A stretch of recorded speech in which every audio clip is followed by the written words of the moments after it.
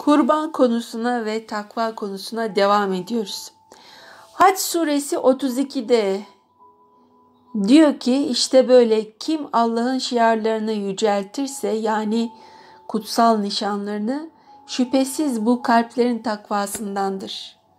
Yine Haç suresi 37'de diyor ki onların etleri ve kanları kesin olarak Allah'a ulaşmaz. Tabii ki ne dedik? Sizin kestiğiniz kurbanı Allah'ın ihtiyacı yok ki. Sizin tuttuğunuz oruca da ihtiyacı yok.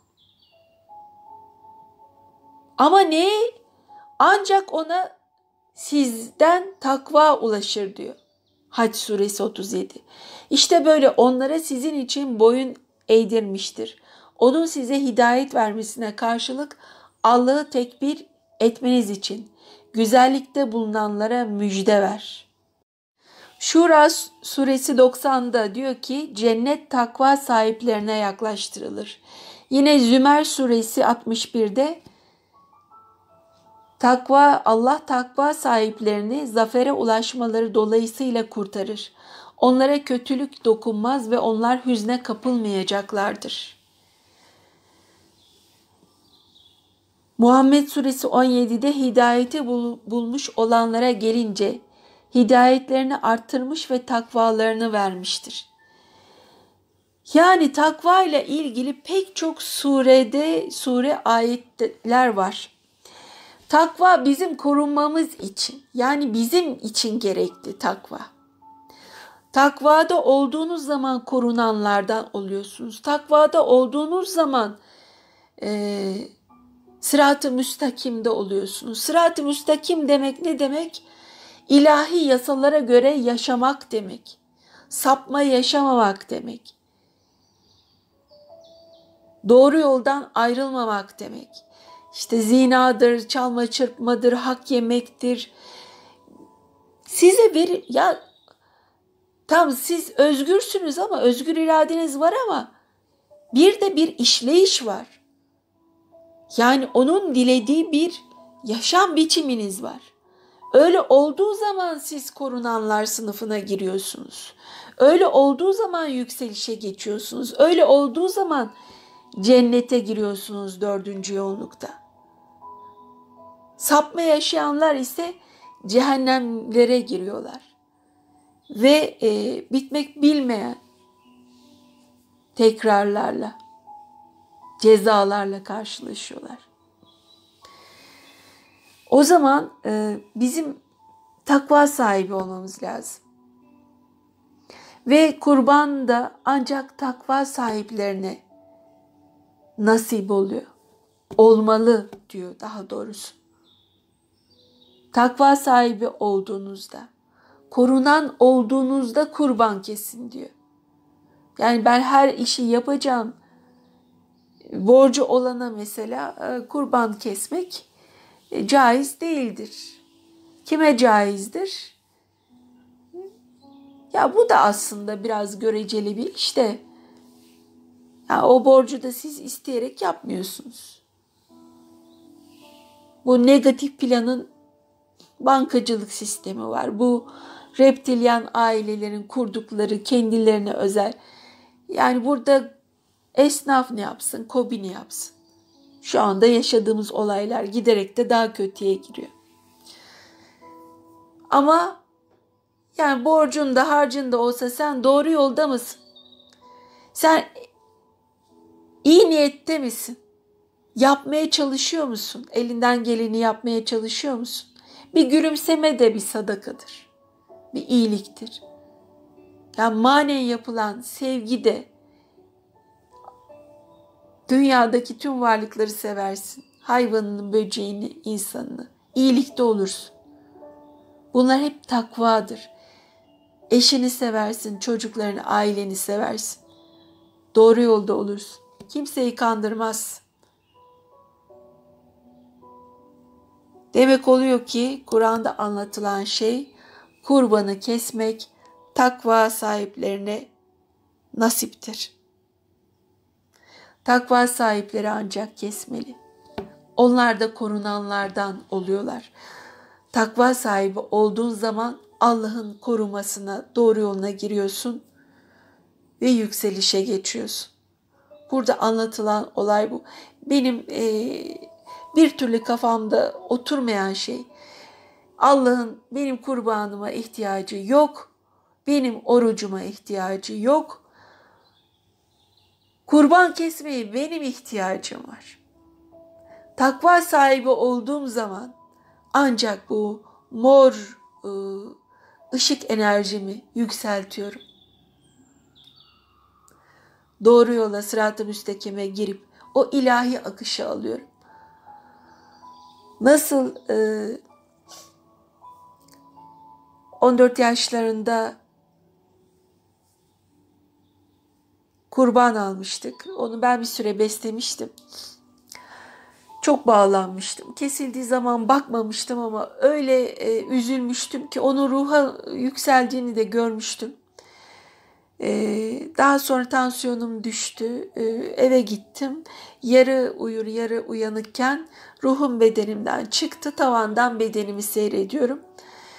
E, daha sonra uzamaya başladım. Astral bedenim uzamaya başladı. Diğer odalara geçerken ip gibi olmuşken korkup lastik gibi bedenime düştüm. İlk deneyimlerimden biri de buydu. İşte orada öyle bir vortex açıldı ki benim e, üzüntümle ya o hayvanı ben çok sevdim ve ruhu cennete gitsin diye dua ettim. Onda bir korku enerjisi oluştu. Ve o enerjiden beslenen varlıklar da olabilir orada. Ancak orada benim kanalım da oluştu. Yani e, çok sevdiğiniz birinin. Kurban zaten Arapça anlamında e, hedaye diye geçiyor. Kur'an-ı Kerim'de. Hediye vermek. Ama bu hediye aslında kendinden kendine verdiğin hediye.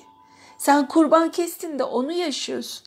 Kendine faydan var. Oruç tuttuğunda da kendine faydan var. Bedeni terbiye ediyorsun. Nefsini terbiye ediyorsun. Kurban kesildiğinde de aynı şekilde. Bu farklı bir olay. Ayrıca Hac suresi 37'de ne diyor? Onların etleri ve kanları kesin olarak Allah'a ulaşmaz. Ancak ona sizden takva ulaşır. Yani demek oluyor ki sizden takva yani korunmuş bir ruh olmanız, doğru yolda sırat-ı mustakimde olan korunanlardan olan bir ruh olmanız bir enerji üretiyor. Bu da Allah katında istenen bir şey. Bu olduğu zaman size başka bir enerji akıyor, bir ilahi bir akış. Ve bu takvanın rıza makamında olmanız sizin, raziyede olmanız, Allah'tan razı olarak bu kurbanı kesmeniz ki biliyorsunuz İbrahim peygamber İsmail'i kurban edecekken ona verilen şey kurban kesilmesi emriydi. Ama İbrahim peygamber, Hazreti İbrahim neden bu kurbanı kesmek istemişti? Allah'a olan inancını göstermek için en sevdiğini feda etmeye kalktı. Ve bu da kabul gördü. Burada işte bir takva var.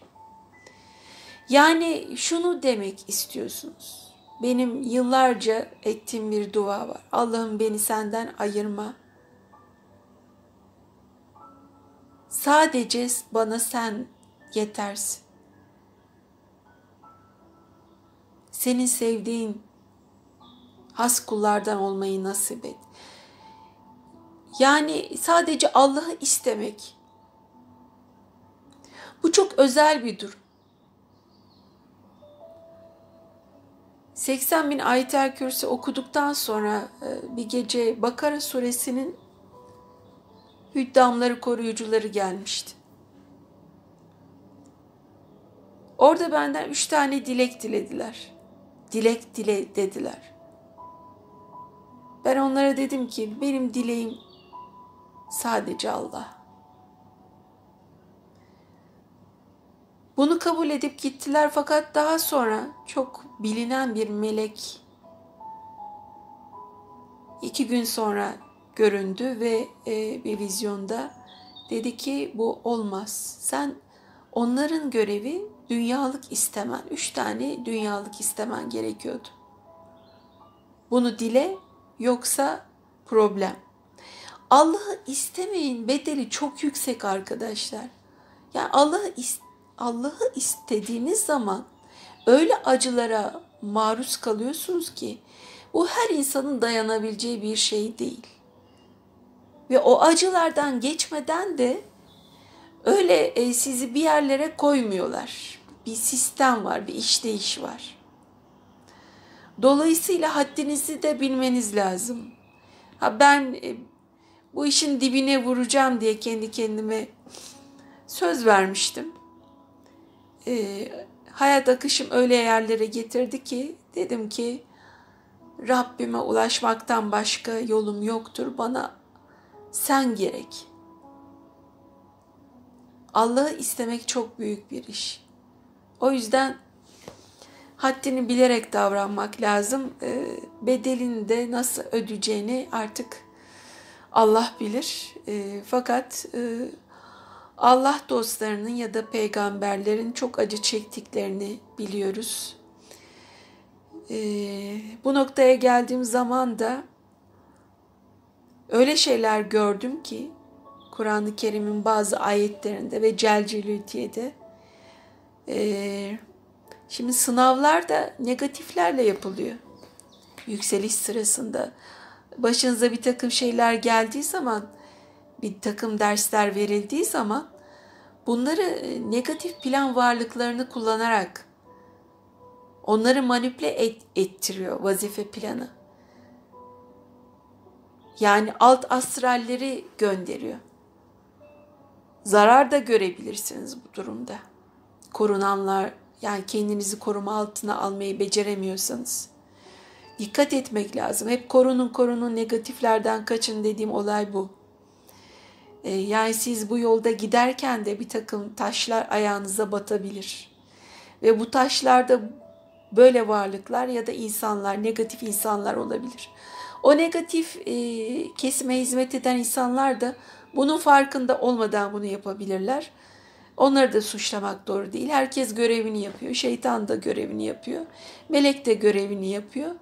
E, bu sabah gördüğüm vizyonda e, şunu gördüm.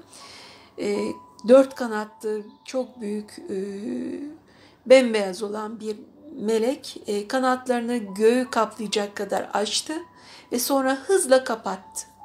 Hızla kapattığı zaman siyah bir nokta haline büründü ve o siyah noktadan ışıklar çıkıyordu sarı mavi yeşil.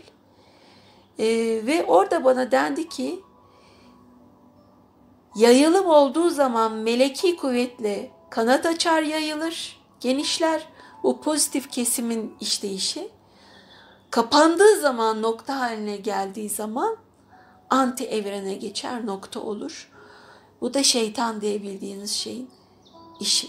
Ve Azrail de entropinin anlattığım geçen gün. Sizin e, tepe çakranızdaki enerji yeterliliğine bakarak Azrail bir kuvve sizi kapatıyor. Bedeninizi e, işleyişine kapatıp ruhu spatyoma çekiyor. Hasatta da İsrafil entropik dönüştürücü olarak yine aynı Azrail'in üstüdür İsrafil. Ee, aslında bütün görevliler de İsrafil'e bağlıdır. Bu e, diğer e, planları açıp kapatır İsrafil kuvvesi. Yine mor enerjinize bakar tepe çakranızdaki yeterliliğinize göre sizi hasat eder.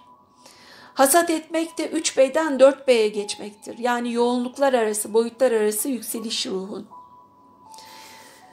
İşte alfadan beta'ya geçiş. Beta'dan omega'ya geçiş gibi. Bu planları açıp kapatan, matriksleri açıp kapatan da plan dönüştürücü İsrafil kuvvesidir, sistemidir. Dolayısıyla tekrar e, sözü e, kapatırsak takva sahipleri ne diyor ki cennet yaklaştırılmış. Takva sahipleri takvası Allah'a ulaşır. Ve bu takva karşılık gören bir şey. Sizin verdiğiniz, o rıza ile verdiğiniz bir feda etme, bir şehitlik de de aynı şey var. Bir feda var. O kurbanı feda etme olayınız. Üzülerek rıza makamında feda etme olayınız. Bu çok üst bir enerji size geriye gönderiyor. Ruhunuza. Şehitlik belki bunların en üst veya bu bir şehitlikte sadece askerde değil. Siz manen e, yakınlarınız için, aileniz için de kendinizi feda edebilirsiniz. Bu feda olayında farklı bir olay var. Orada da bir takva var. Ve Allah'ın da istediği takva, takvada olmanızla siz mertebe atlıyorsunuz. Tüm evliya ve peygamberler de takva sahibiydiler ve hep bütünün hayrına çalışıp kendilerini feda ettiler. Sistemi değiştirmeye çalıştılar. Geleni öğrettiler. Allah yoluna insanları sevk ettiler. İnşallah hepimize takva sahibi olmayı Allah nasip eder. Allah'ın kendine seçtiği kullardan olmayı nasip eder. Allah'ı istemeyi nasip eder ve Allah'ın sizi istediği, sizin ondan razı olup onun sizden razı olmanızla birlikte cennet makamına çıkarsınız ki bu da insanı kamil olmadır.'' Bizim bu boyutta gelebileceğimiz en üst seviyede budur. Allah takva sahibi olmayı nasip etsin hepimize. Sevgilerimle.